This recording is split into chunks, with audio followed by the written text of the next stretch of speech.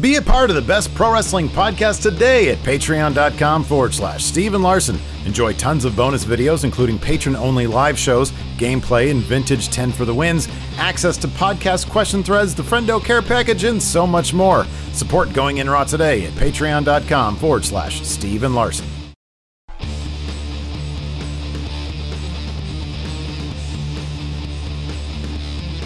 Hey, friendo, Steve here. And Larson. On today's Going In Raw news brief, we're going to talk about Karrion Kross's mysterious past, backstage heat on AEW's Sammy Guevara, CM Punk singing the praises of Raw Underground, and dig deep into this Wednesday night's wrestling ratings. But first, we got more on Marty Jannetty maybe killing somebody? Larson, what's in the news? So yeah, following Marty's shocking admission on Facebook yesterday, which we spoke about in yesterday's news brief, that he quote made a man disappear.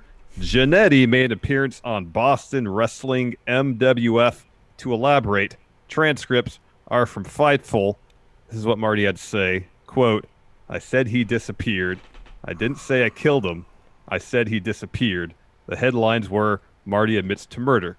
He elaborates on the situation uh, further quote, we're in the car. He grabbed me there, and I'm like, no, no, no. I wanted to get out of the car, and he got mad and angry. He jumped out of the car, grabbed me by my hair. I couldn't get away. He's dragging me to the back of the bowling alley and threw me to the ground. He's trying to pull my pants down. it was a brick laying there. What do you do when you're 13? I can't say he deserved to die, but he deserved to get his ass beat. When I was beating him in the head with a brick, I was only trying to beat his ass. I wasn't trying to kill him. Can you imagine dragging a guy to a river and throwing him and then finding out on the news this guy is missing? Now, I know you have your uh, degree in psychology, Larson. Can you please break down what's going on in this guy's head? I don't have a degree in psychology. I took like a couple uh, psychology classes in junior college. Yeah, so did I. Um, he's so okay. Earlier today, when we were doing our NXT review, I sort of explained my what I felt about this. Do you see where I'm coming from? This sounds like a more sober Yes. way of admitting to killing a person than a Facebook post. Yeah, yeah, yeah. No, I I, I, I, I see your your point, and yes, I agree. This is this is yeah, it It, definitely. is. it actually sounds like he is providing further clarification. yes, I- and I- additional details and so on. Yes. I understand that the first thing he says is, "I say he dis. I said he disappeared. I didn't say I killed him." But then he goes on and, and, and talks in detail about killing a person and throwing him into a river, and then seeing that they, and then seeing a report on him being missing, and then now that So we had heard yesterday, following the initial post, that uh, local police were doing an investigation now. Um, and then they said the first thing they were going to look into was any reports of, of unsolved uh, homicides, I believe, or missing person cases in that area in 1973. Haven't heard anything else in that regard. But it's, Yeah. it's, it's interesting that uh, Jannetty posted what he did yesterday in Facebook, removed it, and you know, in light of an investigation happening, uh, saw fit to go on Boston Wrestling MWF and, and talk about it. I don't, I don't know. Uh, yeah, I don't, I don't know either. I mean, look, if if look, if if I mean, if he's just playing around or just a desperate cry for attention, I mean, you're you're using uh, police resources here potentially. maybe don't maybe don't do that. Um, I yeah, I I don't. I don't know. I don't know. I don't know. I don't know. I don't know what to think don't either. I don't know what to think. I don't We're know. just putting the info. out. What do you guys think? Did he do this?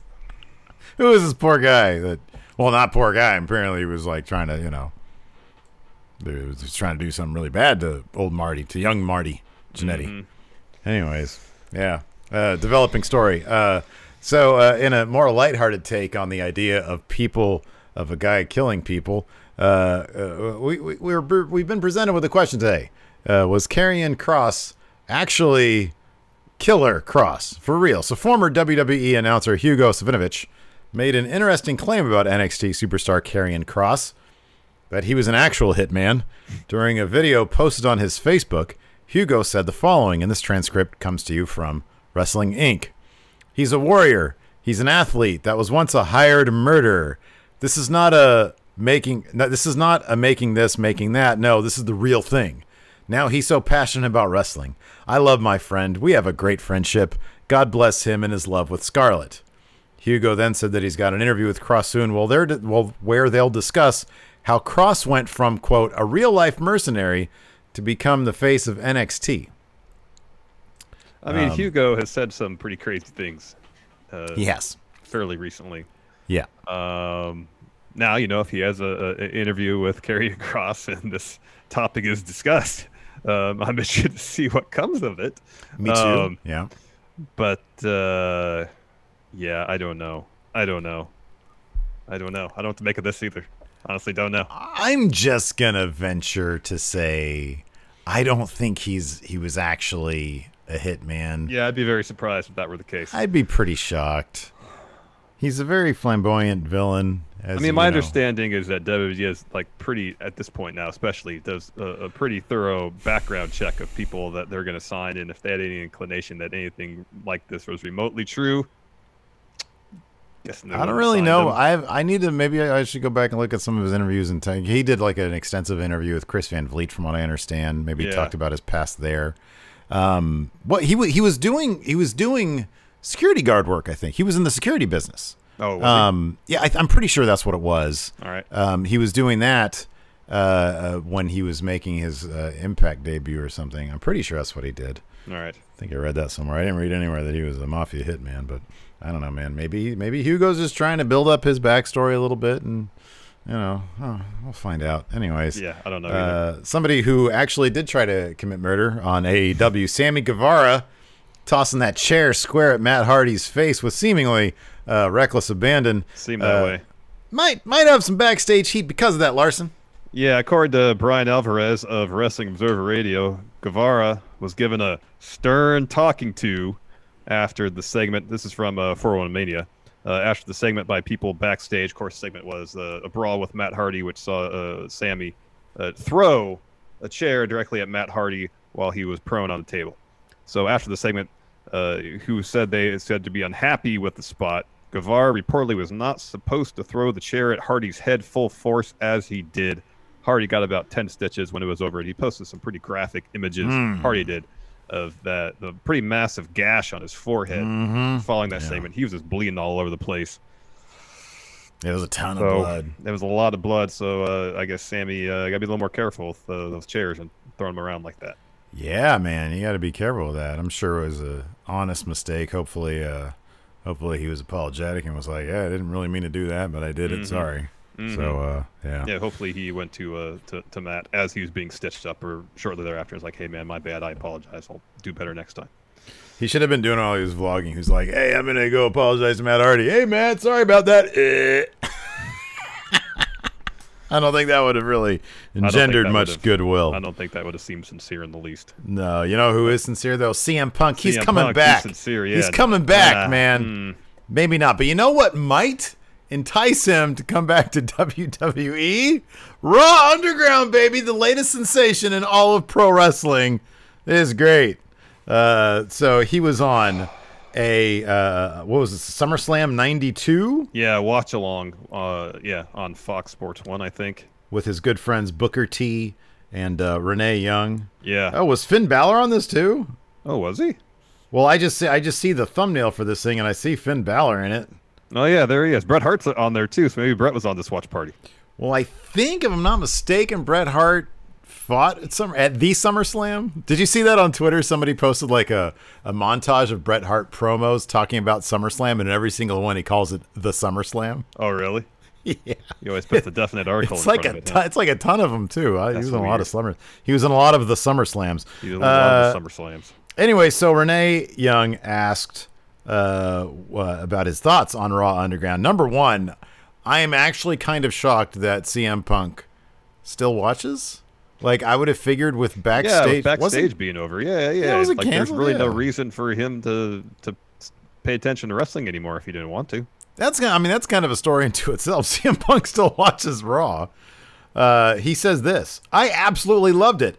I want to see Nia Jax there. They should get more women in there. Let us see some bodies getting broken. Uh, he uh, he wondered during the conversation. Again, this is from Wrestling Inc. These uh, transcripts. Uh, if Raw Underground would be restricted to just Monday Night Raw or also be featured on SmackDown, he says the idea that Shane McMahon and all these people would be in the Performance Center for the whole three hours and they cut into what they're doing in various segments is pretty cool. Three hours of no holds barred fights and strippers. That's all I want to see. Uh, and then uh, Booker T admitted that Punk was the first wrestler he thought of after watching Raw Underground. He says, "As saw as soon as I saw the preview, a shoot fighting concept and all, bringing the noise. The first person I thought of was CM Punk. I know the money has to be right, but maybe this thing will lure Punk back to the WWE." Uh, and it- Punk's response here is pretty good. yeah, he says, "You want me to get that first MMA win, right?" That's pretty funny. I like that Wrestling Inc. though makes sure to say uh, that at the conclusion of the quote there. I know the money has to be right, but maybe this thing will lure Punk back to WWE. Joked Booker T. uh, yeah. So uh, It says here, uh, whoops. Yeah. Oh, he also joked about uh, he wanted to see Renee Young uh, take on Bayley mhm.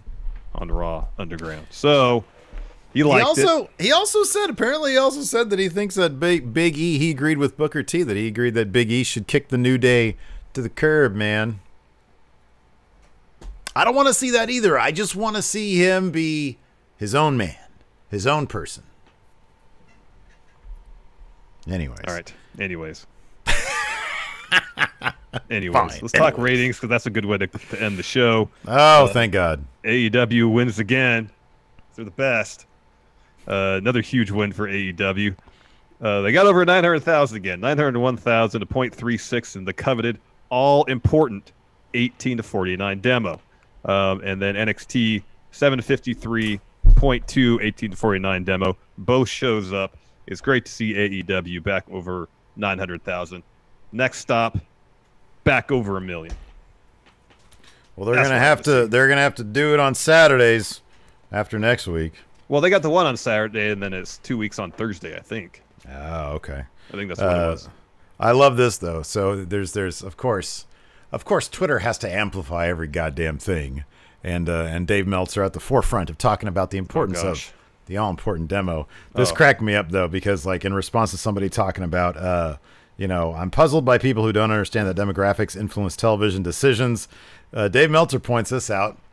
Green Acres was the funniest show on TV, and Beverly Hillbillies was one of the most popular of all time. Both canceled over demos. Wow, I didn't know he's a TV historian.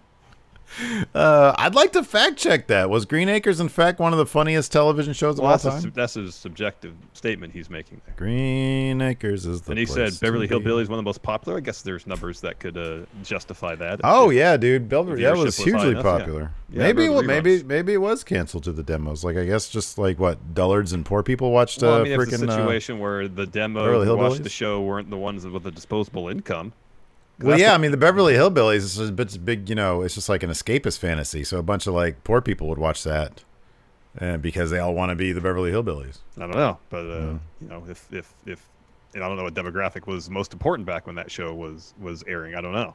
But right now it's 18 no to 49. That's all that matters for advertisers. If you appeal Well, that back- okay. they'll pay you more for commercials. Back then, it was probably closer to like 18 to 35 because like 49 at 49, half the people in the world are dead anyways. The the the, When the were Beverly Hillbillies on the 50s, uh, 60s? probably the early 60s. I All think right. Was life expectancy that much different then than it is now? it was a joke, but I I can't believe it was past 70 in let's say 1962. Beverly Hillbillies had to be on in 62. I would think so. That show it was on. Oh my god, it was not that much different because isn't today it's like 70 something? Back then Yeah, it was like 75 or something now. All right, so yeah, it was a couple years. It was uh, 1961. It cracked over 70 for oh for men. It says life expectancy 16 in, in 1962 it was 70, just over 70, but for women it was 73 and a half. Interesting. So Beverly Hillbillies started in 60. Wow, it was on from 62 to 71. Well, that ain't gonna be because of the demo. That's because it ran for it. how many more stories about poor people being? At that point, they're just rich. There's no more stories to tell. Um, so this is what Wikipedia has to say. Despite respectable ratings, the show was canceled in the spring of 71 after 274 episodes of the CBS network prompted by pressure from advertisers seeking a more sophisticated audience. There you go. It was the demo. Decided to refocus uh, its schedule on several uh, hip shows. How was it that after how many years? Seven, Nine years. eight, nine years. How was it after nine? At nine years, they're like, "Hey, demo's not good enough." It's nine years. So I guess yeah, they canceled Green Acres and and uh, and uh, Beverly Hillbillies Wow. to appeal to a different demo. So Look at that. Fact checking the wrestling. Who are we to? Who am I to doubt the wrestling observer himself? My goodness gracious. Not shocking though. Both those shows. Have you ever seen Green Acres before? mm-hmm. Show for dullards. Beverly Wow. Hillbillies. Show for dullards. wow. Anyways, thanks everybody for watching. G- Going in raw, dullards, or at least run by some. Thanks for watching, everybody. We appreciate it. Till next time, we'll talk to you later. Goodbye.